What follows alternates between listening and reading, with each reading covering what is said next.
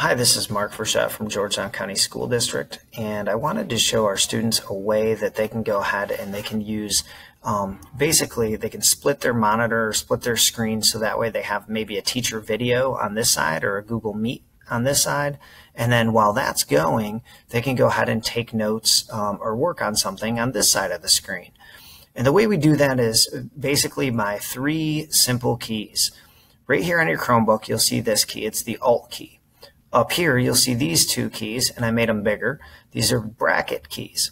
The one closest to this side will push the screen this way, and then the one closest to this side will push the screen this way. So we're going to use a combination of these, and I'm going to show you exactly how to do it. The big thing is, is that when you're ready to split your screen, you're going to hold the Alt button, and then you'll press the bracket to the side you want it to go to. So if I press this side, it'll go this way. And if I press this one, it'll go this way. So I'm going to go ahead and I'm going to show you how this might be used.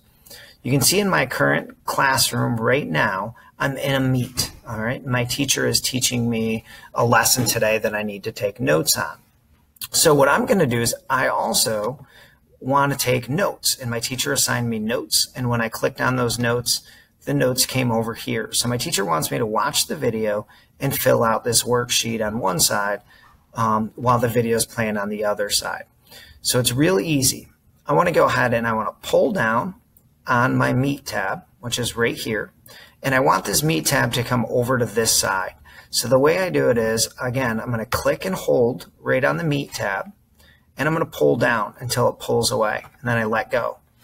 Then I am going to go ahead and hit the Alt and the bracket bar. And you'll see it pushed my video right over to this side.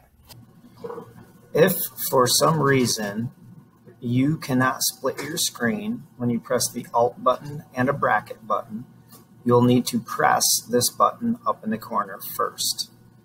So again, if nothing happens when you press the Alt button and the bracket button, press this key up in the top first. That should resolve any issues. Then behind it, you'll notice if I click over here, I have my notes. So I'm going to click on my notes. And then the same thing. Now that I'm on my notes, I want to click the Alt and I want to click the bracket that's closest to this side. So I'm going to click Alt and bracket and it's going to push my notes over to this side. And that'll adjust in just a second. But you'll notice that I can see again my live meet on this side. And if I had the sound turned on, I'd be able to hear it. And then on this side over here, I have my notes. And so if I needed to go ahead and type in my notes, what was going along with the video, I could just click in here and I could begin typing while I'm watching the visit while I'm watching the video.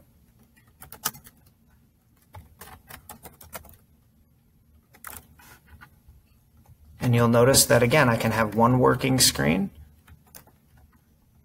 and then I can have a second working screen. So that way, as the answers come up in our class, I can go ahead and I can type in my notes on this side.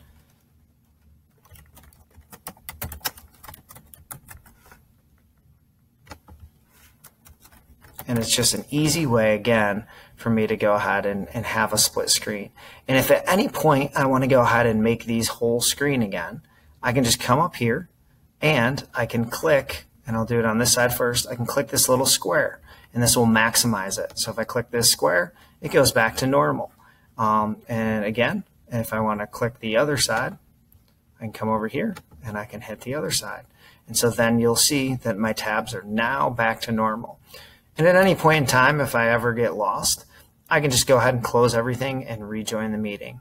But I hope that helped you split your screen. Good luck.